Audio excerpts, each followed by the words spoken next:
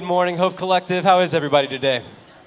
Good. Good to be with you. Let's all stand together as we come into God's house. Uh, longing, I think, at least, I don't know about you, but I woke up with a, a, deep longing for the things of God today, for the things of heaven, for the kings, the things of the kingdom of heaven to happen in this place.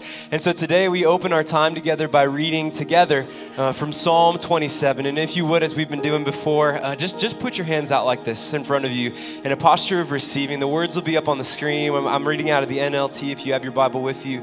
Um, but we're going to spend today just, just at this first moment opening our hands and saying, God, would you come and fill my heart and let the praise that comes in this moment be an overflow of your goodness.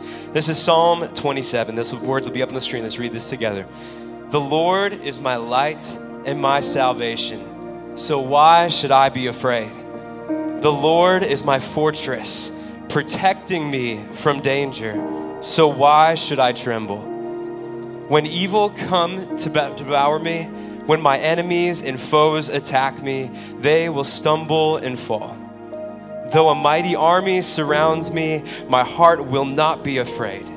Even if I am attacked, I will remain confident. The one thing I ask of the Lord, the thing I seek most, is to live in the house of the Lord all the days of my life delighting in the Lord's perfections and meditating in his temple. For he will conceal me there when troubles come.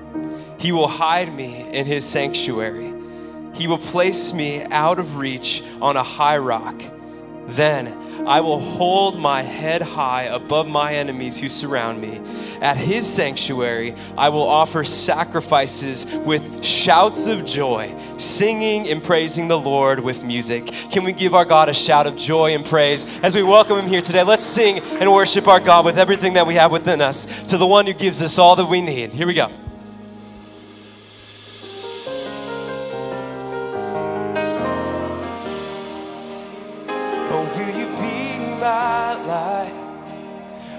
When I see. When I can't take another step, Lord, would you carry me? And when I lost my fight, will you be my strength? Will you set me a table in the presence of my enemies? Sing it with all your heart, I shall not want. I shall not want. I shall not want. Oh, my soul's got a shepherd in the valley, and I shall not want. I shall not want. I shall not want. Cause my cup's running over, running over, and I shall not want. And I believe lift my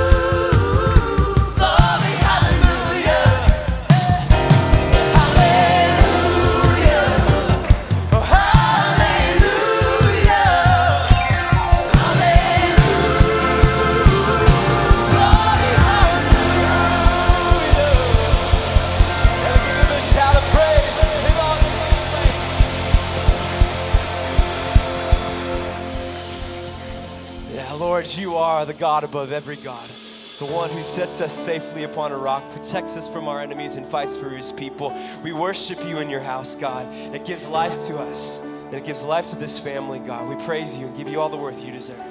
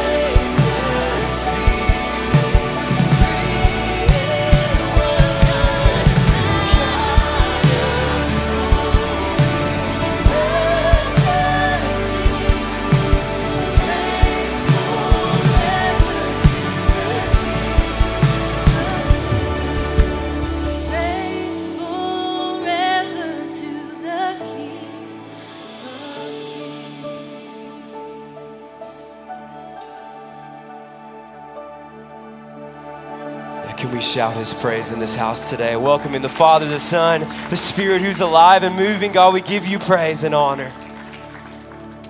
Last week, if you're with us, you'll know that during our time of singing, we, we, we made a challenge to push deeper into a place of worship that might not look like the worship that you and I have typically experienced in church growing up or even last week necessarily. But we said, on this journey that we're going on of being transformed from the inside out, that if we want to see God do a new thing within us, we must be willing to posture ourselves in a new way.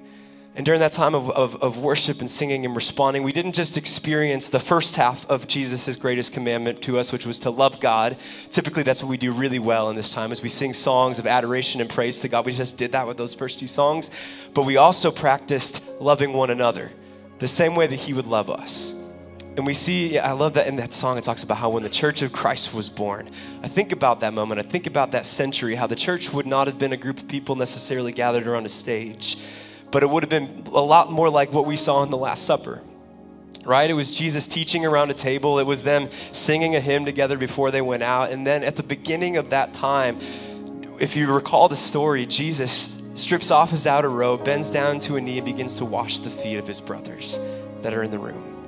And I think that if we, if we think of church more through the, the lens of that, I think we'll begin to experience the height of what a worshiping community that actually experiences the presence of God and the kingdom come of God on earth and in this room. I think that's when we begin to experience the things of heaven uh, on, on, behalf of our brothers and sisters. And so after last week, um, just spent some time literally in this room, looking out on the seats, standing right here in this space, and wrote down just a list of things. A list of needs, if you will, like soul needs, heart needs that could be present in the room. And what I'd like to do is, is just to, I think, just to kind of give us all a point of reference, is to read through this list. And if, if this resonates with you, not hesitating, but just stick your hand up for a couple of seconds so that the people around you can see. Not like the slip hand up, put it back down, hiding, right?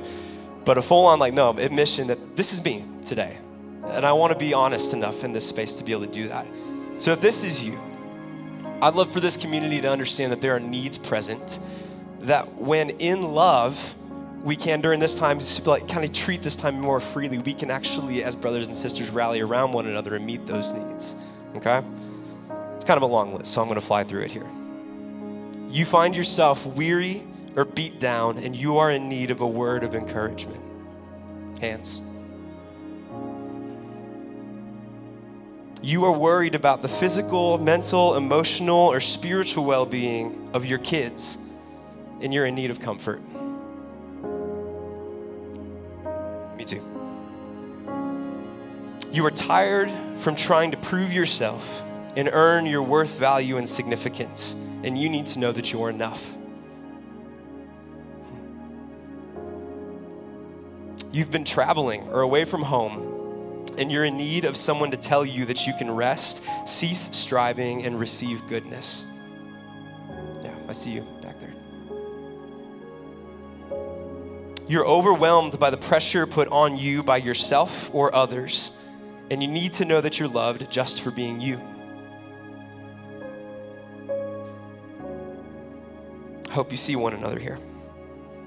You feel a sense of purposelessness, and you need to know that you are of value to this world. You're distracted or struggling to be present and you need someone to pray peace over you. Yeah, this is me right here. You feel unexplainably under attack, whether that be mental, physical, emotional, spiritual, and you need someone to fight for you.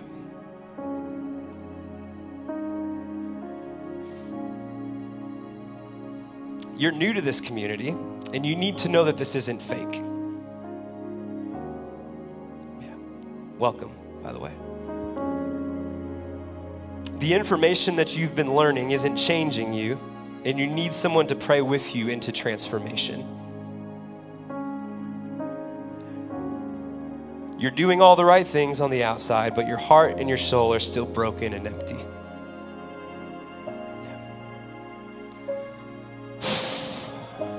Do you feel the weight of this, church? When we say family, when we say community, we mean that we, mean that we help meet one another's needs. And so I have a second list. I'm going to go a lot faster through this one, but these are the attitudes, the postures, the beliefs, the thoughts, I will say the lies that would keep this from happening in the room today. Okay? I'm not going to make you raise your hand, but this is the list of things. I'm going to do it wrong and people will judge me. God isn't speaking to me, these are just my own thoughts. It'll be weird or awkward. Someone else will do it, so I won't have to. I'm an introvert, surely this doesn't apply to me. I'm an extrovert, and I'm going to be too much for other people. Can I just get the message so I can go to brunch? It's my first time here. If it is, you're welcome here. We, we, we're so glad that you're here, but don't let your first time being here mean that you can't act in love on behalf of a brother or sister in Christ. I've been here 20 years and I've never had to do this before. Why should I have to now? I debated on whether to say these next two, but again, God's Spirit speaking to me, okay? Just trying to discern here. I'm a man and this is too soft for me.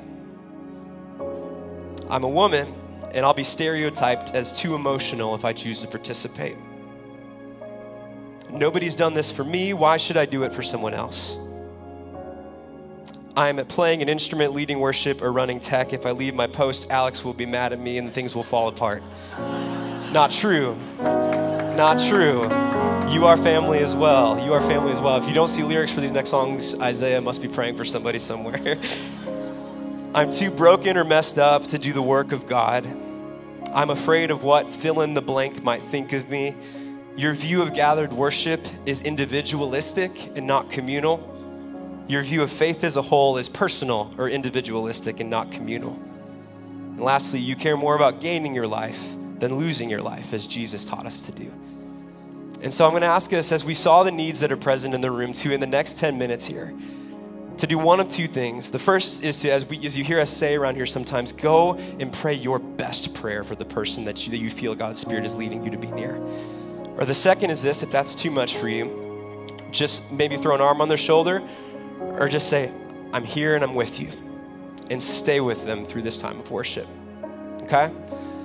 That was a lot. We're going to take about 10 minutes to sit in God's presence here and meet the needs that we know are present in this room today. Let's let God's Spirit lead. Lord, would you come and teach us to love you, but also to love one another? That you teach us that this space is not just about receiving, but it's about stripping off the outer robe and washing one another's feet. And Lord, I believe with all my heart that the heights of this worshiping community will not be hands raised or songs sang or how good things sound. It will be the depth to which we are willing to serve one another. And so, Lord, come and have your way. Speak truth over lies, illuminate darkness. Give us Holy Spirit insight into how we can fight on behalf of one another.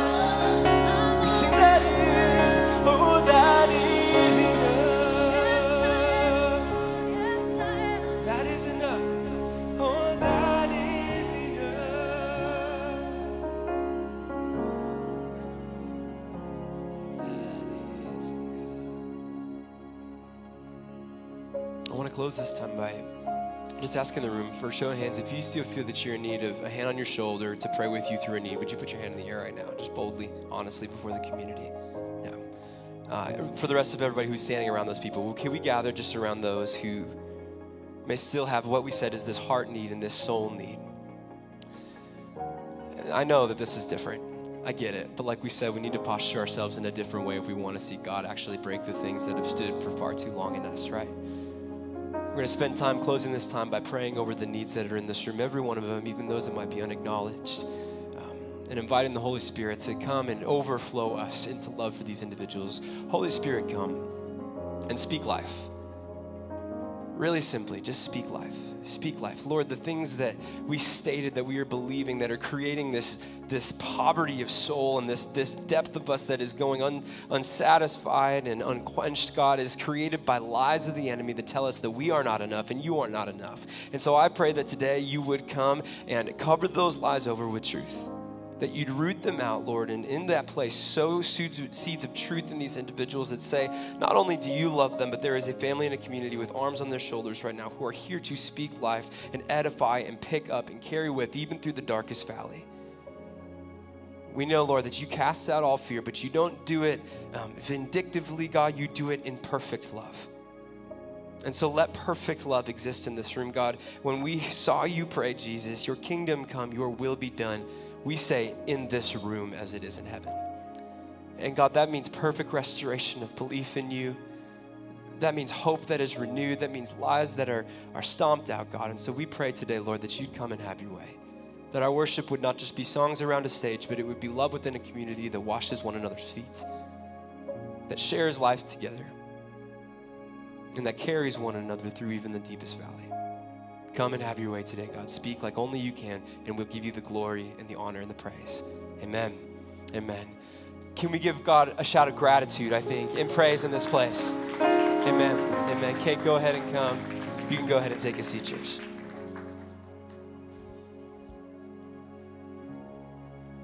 Okay. So I think we all just need to be like, Jesus, come. Amen. Introverts, how you doing? You all right? Okay. Good. Good. Well, my name is Kate, and I am with Hope Co Kids, the coolest ministry at the Hope Collective.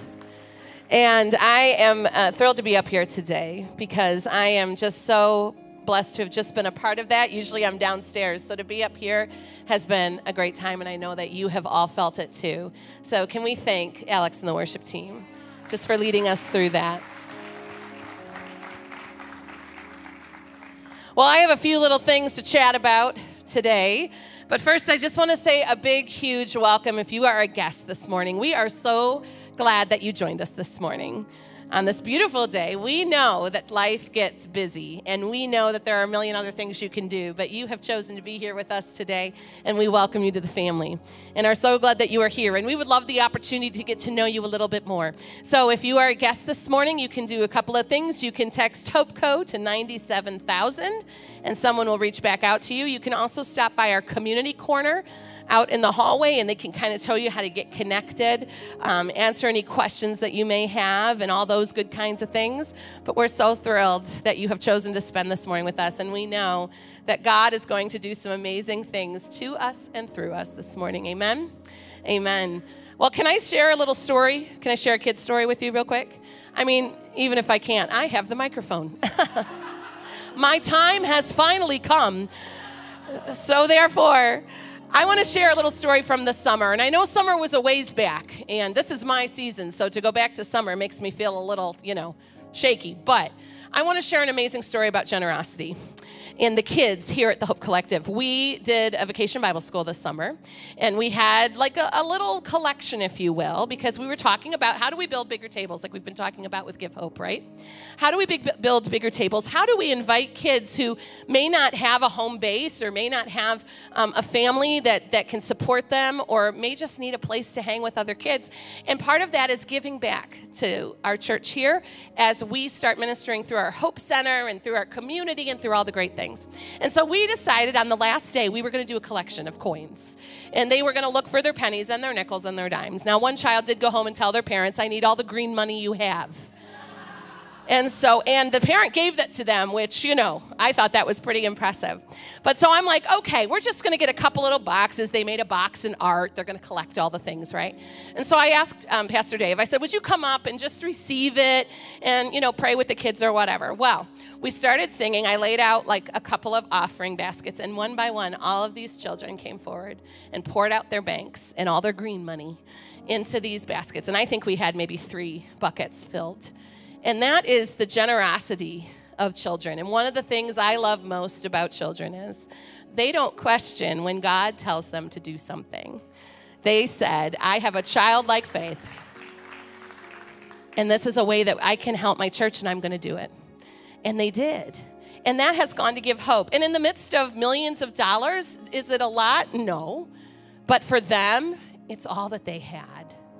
And they gave it for Jesus. And that is why we do the things we do here. And that is why in Hope Co Kids, we are raising resilient disciples to be more like Jesus today than they were yesterday. So we're going to take a minute now and we're going to also get to experience worship through generosity. And so I'm going to ask our ushers to please come forward and we're going to receive our gifts and our tithes and our offerings. And there's a bucket at the end of each row on the left hand side that you can pass down or you can um, use the, the code on the, on the slide there to give to Hope Co. But will you pray with me, please, that the Lord can just receive these and bless them? Father God, we thank you so much for the faith of a child and for what we can be taught through it, Lord. And Lord, I just pray that as you receive these gifts, these tithes, these offerings, these little pieces of who we are, the, the way that we give back to you for all that you have given us, Lord, we know that you can multiply it and use it for things greater than we could ever imagine. Not for our glory, not to say, look at what we did, but only for your glory. That we can say, you are a good, good God who uses the small and makes it big for the weak, Lord. We pray this in your name. Amen. Okay, so I only have one announcement, but it's a big one. Are you buckled up? Trunk or treat is coming back. All right, so it's the Tuesday. That was a little lackluster. I appreciated the shout in the back, though. Thank you. That was, okay, a little lackluster, but the, let me just explain what this was. Okay, so it's the Tuesday before Halloween. It is going to be from 6 to 7.30, and we are going to have cars all through our parking lot decorated with candy, and all of these children in some costumes are going to come and receive. Now, we like to sugar them up and send them home. That's my goal. But more than that, we want families from the community to come to this place and to have some fun. But here's the deal we need some cars. Now, my goal is 100 cars, okay, which is lofty. Lofty. But we can do this, yes? I mean, how hard is it? You drive here, you open your trunk, throw a pumpkin in there, it's fine. It'll be great. It'll be great. And we would love the opportunity for you to participate in spreading joy and bliss to children, whether they live in these walls on a Tuesday night or they're here throughout the community. So you can look for me after the service. I'll be out there, or you can go to thehopeco.com slash kids to sign up there. Well, we are in the midst of an amazing time learning how to grow. And so I'd last, like to ask Pastor Dave to come forward, and he's going to read the scripture for this morning. No, it's not. This is not Pastor Dave. This is I'm not that handsome. Morning, my name is Goose. I don't know about you, but I'm still resting in the I am his beloved. So, what a wonderful morning. Uh, I ask you to stand because we believe here at the Hope Collective, the most important thing we'll do all day is spend time in his word and to hear his word. Uh, this morning, I'll be reading from Matthew 16, verses 24 and 25. Then Jesus said to his disciples, If any of you want to be my follower, you must give up your own ways, take your cross, and follow me. If you try to hang on to your life, you will lose it. But if you give up your life for my sake, you will save it. This is the word of God.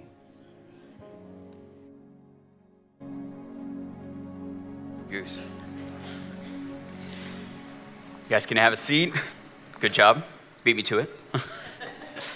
hey, uh, my name is Alex. I'm one of the pastors here uh, with the Hope Collective. And can we just take a moment uh, to acknowledge what God has already been up to this morning?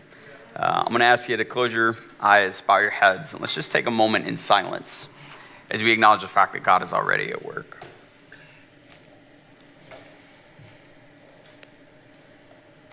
And so, as we take this moment in silence,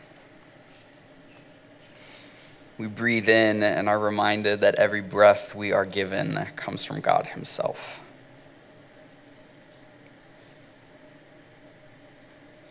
And as we breathe out, we breathe out our gratitude to the one who loves us and is working in us and inviting us into what He's doing in the world.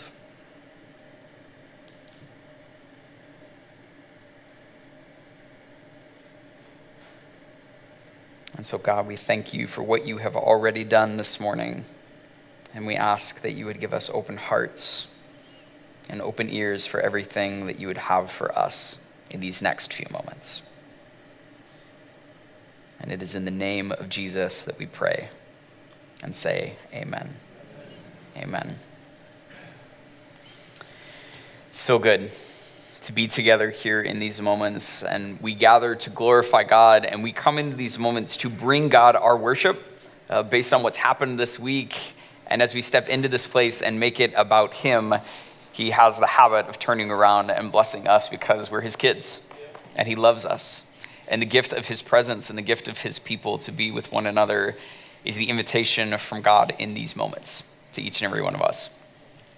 We are in uh, week two of our series called Grow, which is all about becoming more like Jesus. But before we get into all of that, I'd like to invite a little bit of interaction this morning. Uh, I'm going to ask you a question.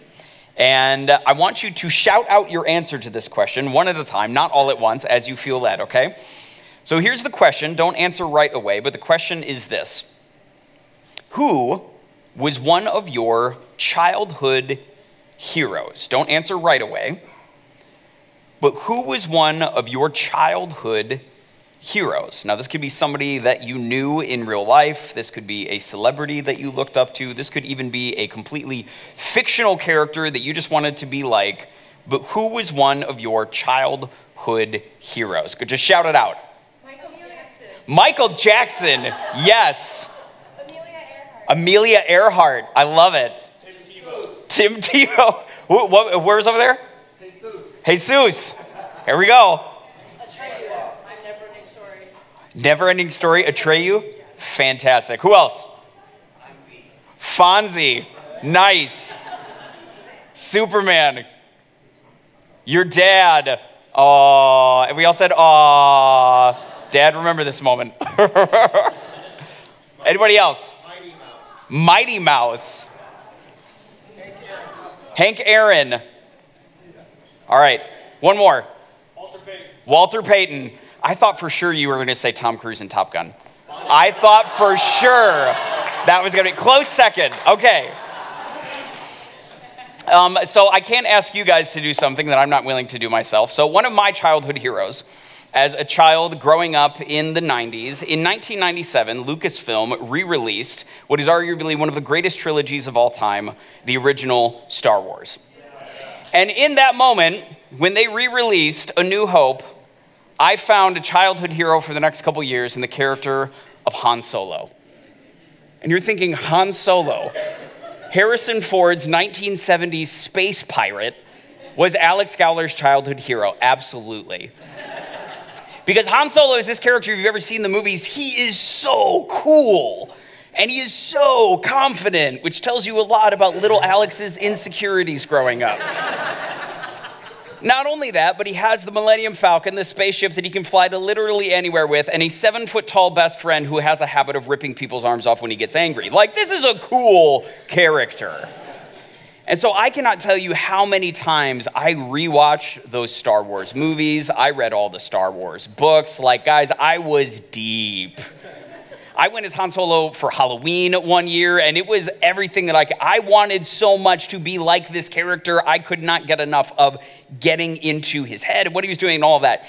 This idea and this experience of a childhood hero is something that's pretty common almost universal to each and every one of us as we grew up to have this person that we aspired to be like, that we almost studied, that we became a student of, so that we could be like this person. This is a universal thing. Something is so common to what it means to grow up and to be a child. And if we're willing, has a lot to teach us about this idea of spiritual formation.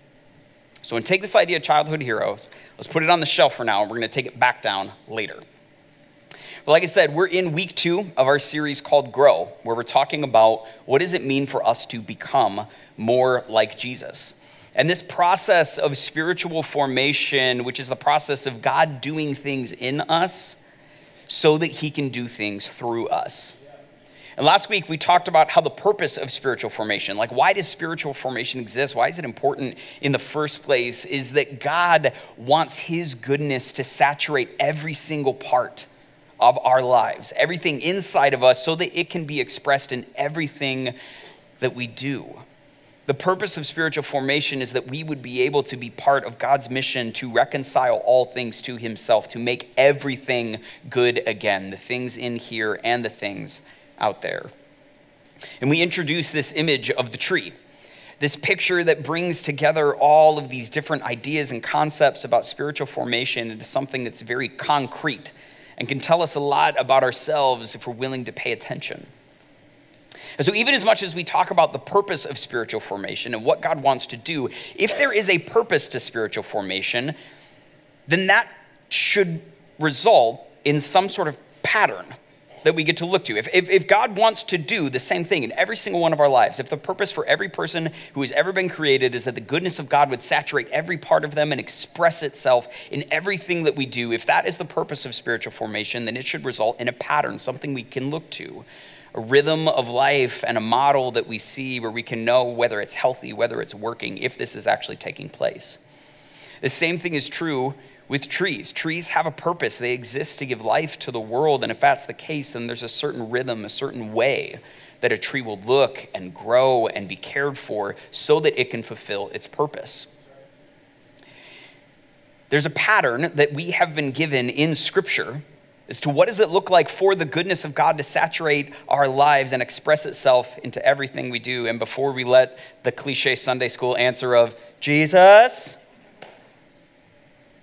just slip in and out of our minds, we have to pause for a moment and realize the audacity that, according to God, the good life is modeled to us by a blue collar man from a backwater town who claimed to be God and was executed as a political revolutionary. This is the one that God would point to to say, hey, if you want to know what it's like to live the good life, look to this person. The life of Jesus as a pattern that we are supposed to model ourselves after is how we fulfill the purpose that God has created us for. We live out the purpose of God by living in the pattern of Jesus. And this living into the pattern of Jesus and modeling ourselves after his life is what we call discipleship. And that's what we're going to be talking about over the next few minutes is this idea that learning to be like Jesus. Patterning our lives after Jesus is this process of learning how to live with and like him together. At the end of the day, that's what discipleship is. It is a posture that we take towards Jesus where we are learning how to live with him and like him together. And so we're going to have this conversation for the next few minutes, but at the end of our time together, we also want to field some questions that may have been coming up from you guys as we introduced this topic last week, as you've been thinking about it this week, or even questions that you might have during our time together. So if there are questions that you have, we're going to invite you to send them in. Text the word collective to 97000. You'll get a reply back and just send your question.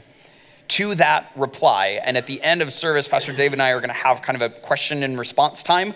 Uh, maybe not answers, but responses definitely to questions that you guys ask. So go ahead, and if you have any questions, go ahead and send that collective to 97000 and then send in your questions. We'll talk about them at the end of our time together today. But this idea of discipleship, of patterning our lives after the life of Jesus, is learning how to live with and like him together. We think about this idea of learning, most of us though, and it brings up these images of like school, of being in a classroom and hearing someone kind of talk at us about the things that we should know. And this is unfortunately uh, not the perspective on learning that scripture has in mind when it talks about becoming a disciple of Jesus. The uh, English word that we have, disciple, in our New Testaments is a translation of the Greek word mathetes, which can be translated as student or as learner. But we have this idea of learning and education that is this very kind of one dimensional, like you have an expert that teaches you about one thing. And this is a very Western, very American, very kind of like, I just want your brain to get translated into my brain. I want to think like you think. So you can have a calculus teacher teach you about calculus, but you may not want that person giving you dating advice or talking to you about how you're supposed to treat your family or how to change your oil or how to throw a football. You can learn one thing from one person, and that's what it means to learn. That's the education model that we have in our minds when we hear this word learning. This is not the idea of learning that scripture gives us when it talks about becoming a disciple of Jesus.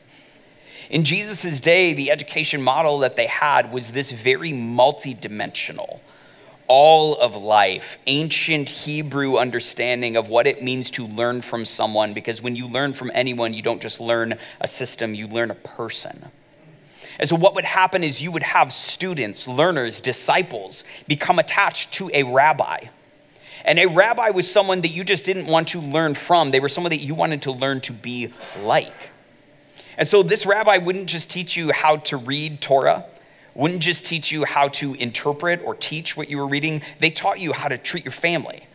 They taught you how to manage your money. They taught you how to put on your robes in the morning. You were learning how to do all of life by spending time with your rabbi. And so when Jesus makes this invitation to come and follow him, to become his disciple, what he has in mind is this relationship with him that is not about just thinking what Jesus thought, but about becoming what Jesus was like. Spending time with him so that we could become like him. This was the idea of learning that Jesus had in mind and the posture of discipleship that he was inviting us to be a part of, to learn from him by living with him so that we could be like him. But this idea of living with and like Jesus, of finding the source of our life and fulfillment of our purpose by being with God and like God, didn't begin with Jesus. Like we talked about last week, this idea of mission didn't start in the New Testament. It started way back at the beginning. This idea of living with and like God comes to us from the very beginning of humanity's story in Genesis 1 and 2. Where in the beginning, God creates the world, He plants a garden, and in it, He creates humanity. And it says in Scripture that He walked with them in the cool of the day. The presence of God in a fullness that Adam and Eve were able to see him, to be with him, to work alongside him, to see the goodness that he had put in creation come forth and become something new and different and better. There was a presence of God in the Garden of Eden that Adam and Eve were created to live in. And this idea of God's presence comes to us from Genesis 1 and 2 at the same time as we're introduced to this idea of God's image. And when we hear the word image, we tend to think of like a picture an image is something that we would scroll past on our news feed or see in an article somewhere. It's something that kind of captures and resembles something that happened in real life, but it's this 2D flat kind of image, this picture that we have of something. The word that we use that is used in Genesis 1 when it talks about humanity being created in the image of God is translated in other places as statue. This kind of 3D model of something. And the idea was that back in the time when Genesis was written, There were these kingdoms and these emperors who would have these vast rules and reigns that they would never be actually able to visit the far corners of their kingdom because their kingdom was so large. And so, what they would do is they would set up statues of themselves, images of themselves in the far corners of these countries to represent their character and will to the people who lived in that place. And so, that image, that statue, if you ever wanted to know who was in charge and what they were like and what they wanted, you would look to that image and say, Yes, that's the person who's in charge. When God creates humanity in his image, he is creating them as the representatives of his character and will in the world. And so, from the very beginning, these ideas of God's presence and God's image, being with Him and being like Him, are baked into what it means for humanity to live out their purpose. And then in Genesis 3, we're reminded that this is the moment when everything went wrong. When rather than choosing to live with God in His presence and be like Him, they want to take God's place and become God themselves. And in that moment, they are separated from God's presence, and the image of God in them has been corrupted.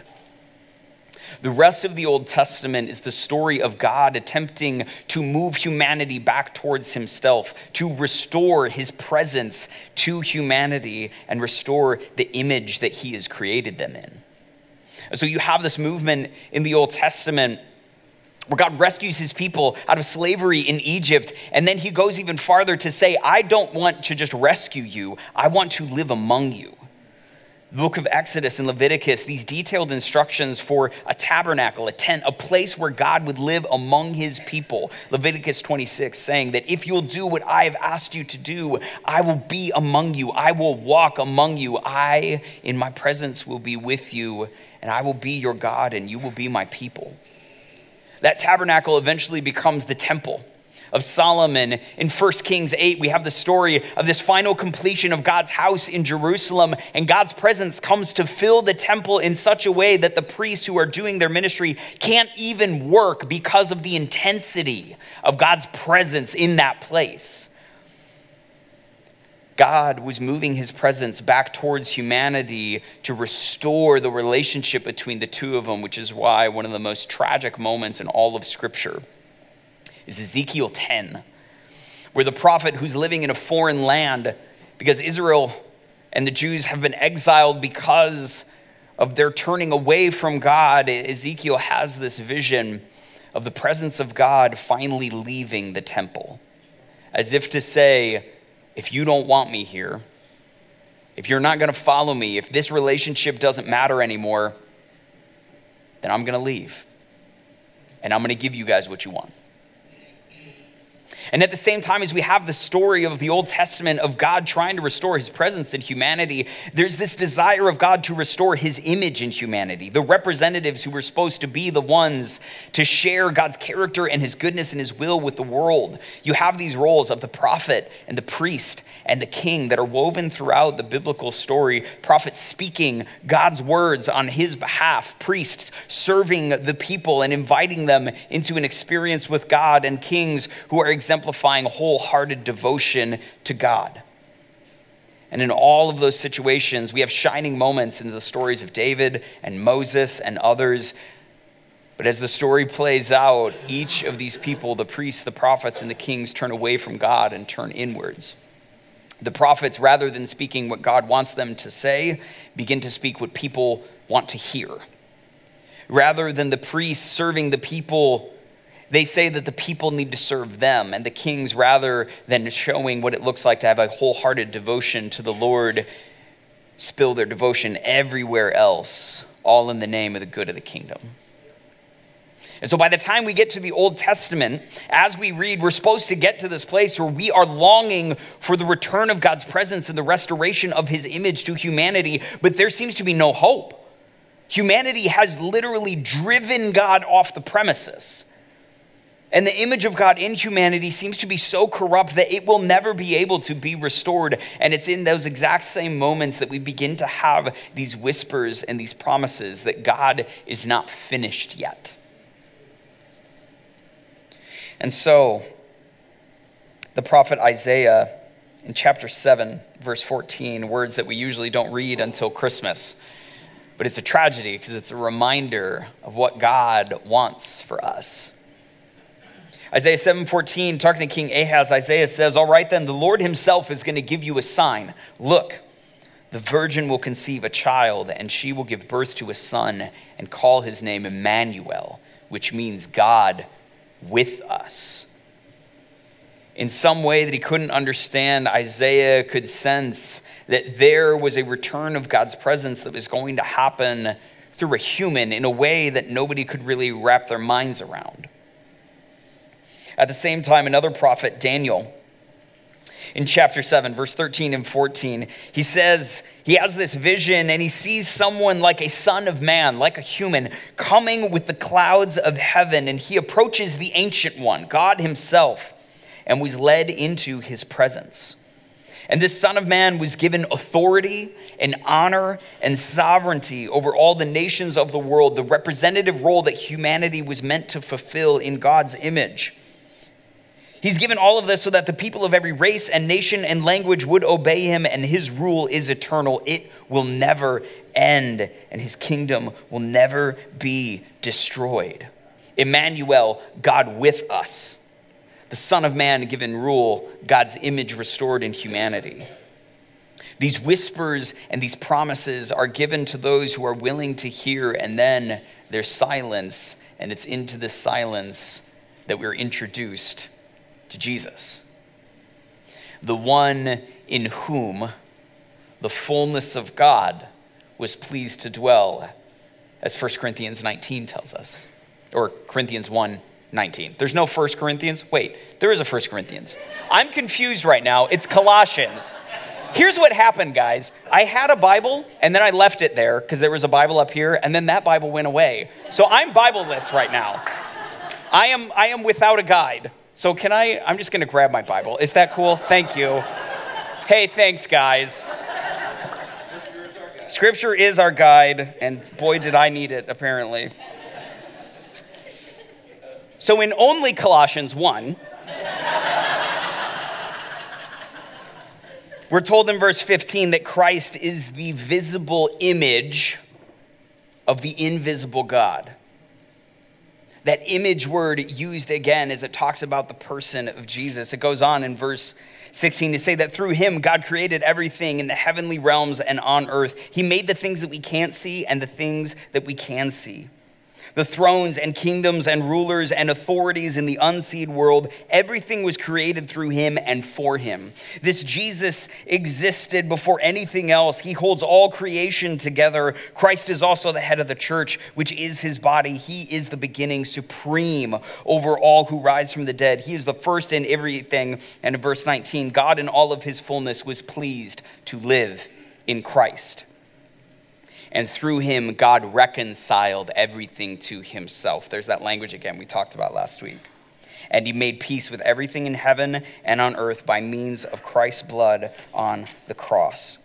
When Jesus invites people to follow him, to become a learner, a life student, it is an invitation back into the presence of God and an invitation for the image of God inside of us to be restored the with, and the like. Discipleship to Jesus is what it looks like to live in the pattern that God has always intended for us, and in so doing, to fulfill the purposes He created us for. We are able to allow the goodness of God to saturate our lives and be part of everything that we do as we live with Him in the presence of His goodness and allow that presence to shape us so that we can be like Him. We fulfill the purposes of God by living in the pattern of Jesus. And this is the call to discipleship. This is what God has intended for each and every one of us. And we said that we're going to be taking some questions about discipleship and spiritual formation, but before we do all of that, I want to address one of the biggest objections that I encounter whenever I talk to people about this idea of becoming more like Jesus and discipleship is the question of is this even possible? Like, we're talking about Jesus here. Like Jesus, who was perfect, and who, by the way, was also God. And I am not perfect, and I'm pretty sure I'm not God. So to become like Jesus just seems like this, this really far-fetched, out there idea that can I, it, it's not possible. I can never be perfect like he was perfect. So this whole idea of spiritual formation and becoming more like Jesus, Eh, it's really not necessary. I just need to make sure that I'm saved and I tell a few people about Jesus before I see him face to face. That's really my responsibility. And there's a, a couple responses to that this idea that becoming more like Jesus is this impossible task. First of all, we don't let the impossibility of perfection stop us from just about anything else. I will never be a perfect husband. I will never be a perfect father. I will never be a perfect pastor. I don't let those things stop me from trying and learning and becoming something better tomorrow than I was yesterday. We don't let the impossibility of perfection stop us in any other area of life, especially the things that are most important. The second response that we could give to this is it seems like Jesus seems to believe that this is possible. When we look at his life and his teaching, he doesn't mince any words about the fact that one of the expectations of following Jesus and being with him is that you become like him. And so we have the words of Jesus in Matthew 11, 28 and 29, where he says, Come to me, all of you who are weary and carry heavy burdens, and I will give you rest. Take my yoke upon you. Let me teach you. Not the Western, one dimensional, sit in a classroom and I'm going to talk to you, but become my disciple. Let me be your rabbi. Let me show you how to live all of life. Let me teach you because I am humble and gentle at heart, and you will find rest for your souls. Luke, 4, or Luke 6 40, Jesus says, Students are not greater than their teacher. Disciples are not greater than their master, but the student who is fully trained will become like their teacher. Every student of Jesus will become like him. And then John 14, 12, I tell you the truth. Anyone who believes in me will do the same works that I have done. They're going to be like me, and they will do even greater works because I am going to be with the Father. It would seem that Jesus believes more in our spiritual formation than we do at times. And if that's the case, that if we think it's not possible for us to become more like Jesus, then we have to say that this whole idea of spiritual formation has to go out the window. But based on the teachings of Jesus, if it's not possible, then Jesus himself is either terribly misguided or playing a cruel joke on us. If he's asking us to do something, it isn't actually possible. But here's the thing it's not that spiritual formation is impossible, it's that it is not easy. Each and every one of us in this room, I don't know if you know this, but you have spent your entire life becoming who you are today. That doesn't change overnight. That doesn't change without a fight.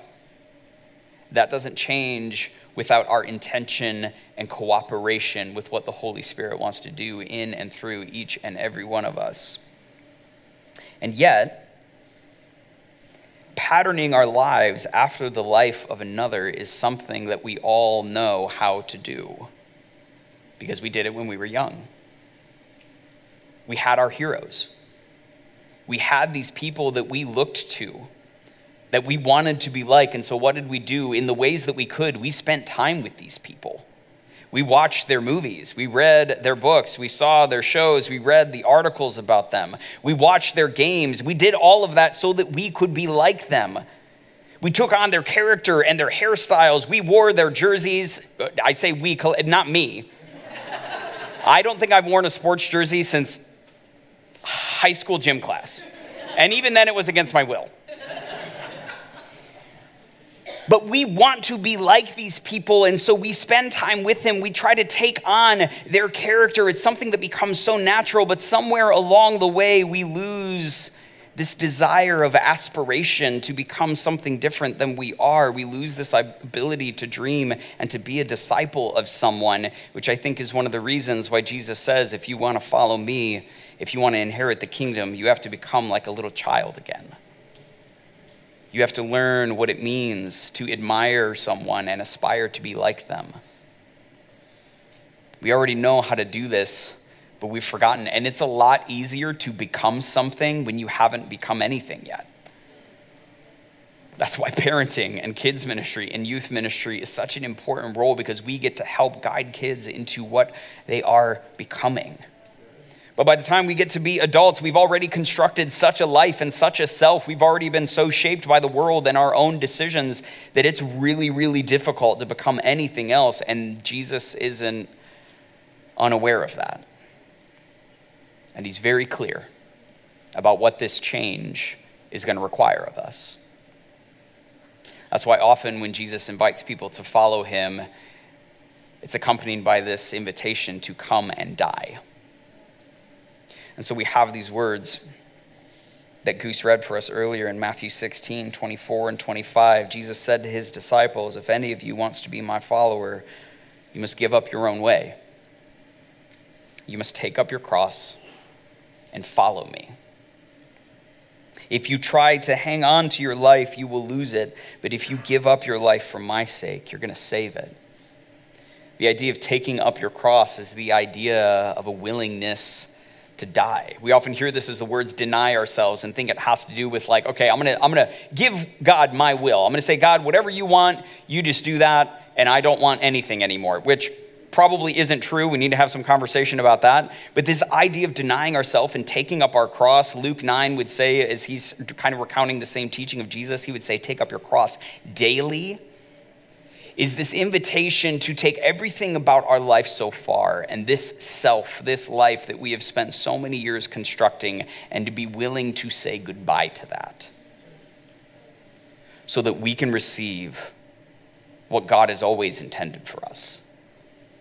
The command to come and die is an invitation to let the person that we have become and made ourselves to be, to see that person die so that we can step into the person that God made us to be, which looks an awful lot like Jesus.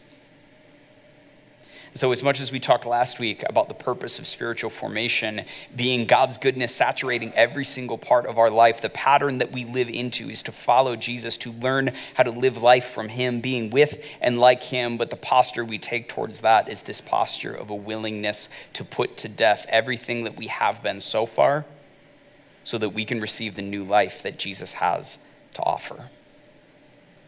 We live into the purposes of God in spiritual formation as we follow the pattern of Jesus, learning to live with and like Him and being willing to say goodbye to what was so that we can receive what Jesus has in store for us. So, if you're willing to die the next six weeks, that's the invitation. Again, we said last week clear as kind.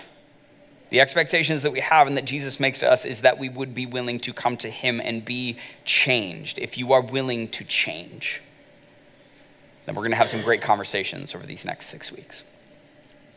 But it all comes down to how we think about our relationship and what it means to follow Jesus. Now, I said that we were going to be taking uh, some Q&A. So if you have had a question over the past few minutes, uh, go ahead and send that in. Again, text collective to 97000 and then send your question as a response. Uh, Dave has been getting those. He's going to come up here and we're going to field a couple of them.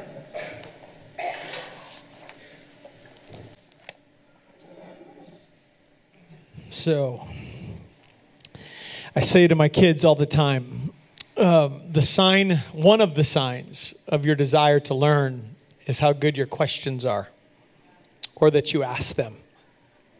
So, we have a couple. Okay. I'm not answering them alone. We're both answering these.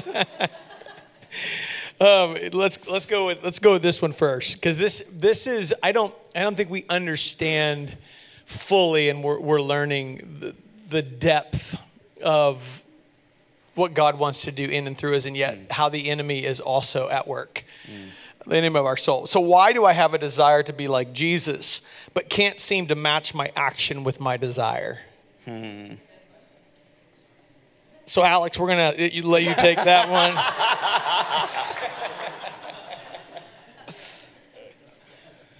That's a great question. What's next? No.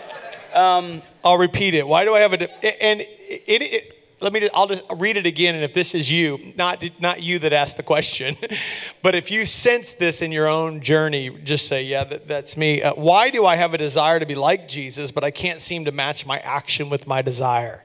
Does anybody ever find that? Yeah, so there's a lot of like Paul. I know the good I want to do, and I don't do it. And I don't know why I don't do it, but I don't do it, and I wish I would do it. why? What do we do? I think um, I'd, I'd love to get your thoughts on this too. Um, I think Ruby, this whole idea of like having a desire to do something and knowing what that is and what you want to do, but not being able to do it. What I encounter for me is that I have just built so many habits of not doing what God would want me to do that that just takes a lot of time and a lot of intentionality. I think for a lot of us, how we want this to work is that, you know, we talked about 1 Corinthians 5, 17 and 18. Behold, I am a new creation. The old is gone, the new has come. That means that it should just be like this, right? Like I did all the dumb things and now I'm going to do the Jesus things. Um, but it, it just doesn't work like that. And it takes a lot more time than we want it to for that desire to actually work its way into how we think and how we feel and the things that we do and the communities that we're a part of. Um, but it's a struggle because we will always know more about what God wants us to do than our ability to carry it out in the moment. So I think there's also the things that we don't know that ha- are in our lives that are keeping us from doing the things of God. I think identity is huge. Wherever, and I'll say this is, is part of my journey with this, wherever my identity is based on what I do, what I have, or what people think about me, wherever that is exists, I will struggle to be like Jesus because I want to be like what everybody else wants me to be. And so my I have yet to let my desire for what I really want, which is to be like the world, shift and be surrendered to God to be like him. So I would say it's a lack of awareness of what my actual desires are and not in a shame space. Um, I would also say that I think that so many of us have so much in our past that impacts our present negatively, even though the cross took care of it. Yeah. And there is a reason that when Peter denies Jesus three times at the fire, right, the coal fire, that Jesus takes him to another fire Yeah. And takes him back to that moment and three times restores him. Why? Because had he never done that, what do you think would have stood in the way of Peter becoming like Jesus? All of the lies based around that rejection, all the lies based around that behavior. And so I do think that we've got to get honest with ourselves about what we actually desire. Yeah. Yeah. And and that's hard. Yeah. Right? Can I can I riff off Yeah, that real quick? please. It reminds me. Um, there's this quote from Dallas Willard. If you've read anything in spiritual formation, you've probably heard Dallas mentioned. Um, but he has this quote where he says, "By the time we come to an age where we can wrestle with our faith and own it for ourselves, we have been so messed up and mangled by the world that a lot of God's grace has to be applied retroactively." And we have to go back to those places in a process of remembering and confession and sharing in community so that we can receive God's grace in its fullness for those moments and not just the moments from here on out. And so, this idea, Mario in the back is like, yes, amen. Um, but this idea of embracing that in our stories is how we get to those roots of like, where is my identity? Where are my desires? And how do I get God's grace for those places, those tender and wounded places, so that I can move forward? So, how do I die to self and still have a good life? Hmm. oh, to define that. Go ahead. It is so even even when we talk about um, the definition of hope, uh, and we've come up to this a, a few times, is the confident expectation of a better tomorrow. What does better mean to people? Because it really comes down to what your definition of good is. And here's the thing: is that we have the very beginning, humanity's first sin was deciding that we had a better vision of what God, what good is than God did. And so when we talk about how can I die to self and still have a good life, the question that we have to ask is what does the good life look like to you? How has that been defined for you? Who have you let define that for you? And is that in alignment with the good life as described in Scripture and the life of Jesus? And for me, that's like That's the question that that's the question behind the question. Not how do I have the good life, but who's telling me what the good life looks like. which which is huge because we sit here products of our family of origin mm-hmm. our our traumas our abuses our sins our culture the movies we love the things we i mean somebody said recently and i believe this that if the disciples were to come back right now and sit in our movie theaters in america they would say we are overtly demonic I mean, flat out, what Disney is peddling right now is not the good life. We don't need witches and warlocks and warlords and all of that to have this good life. This, I mean, it, it's like sneaky. We're desensitized before we know it. I'm yelling. You're just excited. I, I, I am. I think we're warped in what the good life is. I think we've been lied to. I think we need people in our life to call out that the thing we're pursuing that isn't Jesus isn't good. Mm-hmm. And, and to let Matthew 5, 6, and 7 be the definition of the good life because Jesus said this is what it looks like to live in the kingdom. And so when I look at my life in comparison to Matthew 5, 6, and 7, the Sermon on the Mount, am I living that? Because he said this is what this is what it means to be blessed. Blessed are those, right? And so to just say, could I be like that? I just I love that question. Now here's another good one. You ready? I'm ready. Everybody good so far? Not gonna go. We'll do we'll do one more. Is that all right? What inhibits us from being filled with God's presence and entering a life of discipleship? Hmm. Come back next week and we'll talk about that. No, and like I say that, and it sounds like a joke, but that's actually what we're going to be talking about next week.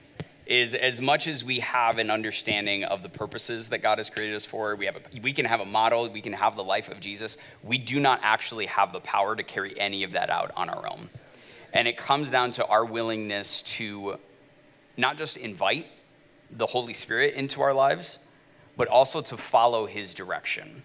And so we talk about the Father's mission, we talk about discipleship to Jesus. There's a missing person of the Trinity in all of this because spiritual formation is ultimately a work of the Holy Spirit. And we have to have an opportunity and a willingness to invite him in and respond to that. So, next week. Okay, I do have one more because last week you talked about, or even Alex said it, that we could be cultural Christians and not disciples. What is the risk of staying a cultural Christian? We're sitting in the room, we're like, I don't want to lean into this. I don't want to I, I got salvation, I've got a Savior. When I die, I'm going to heaven, I'm good. I don't have to do the inner work to become like Jesus, which, by the way, the inner work is to become like Jesus, not to become your better self Right.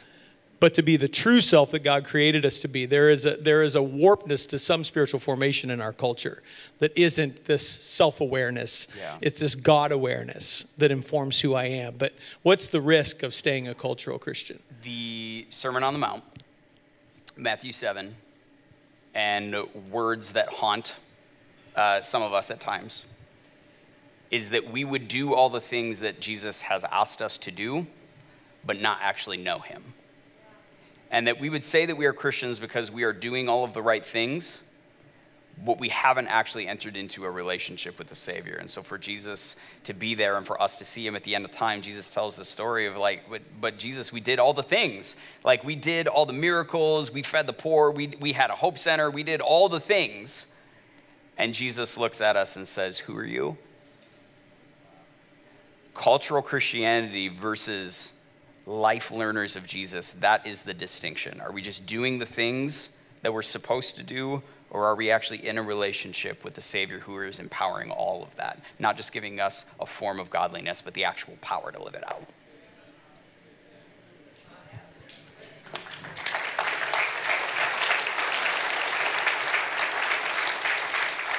I had a question that I wanted to ask, and I know, Steph, you did too. We'll do this again in this series. We'll have some time to do this. But I do want us at some point, this was my question, is I think that we think we can become like Jesus and still keep anything but a biblical worldview.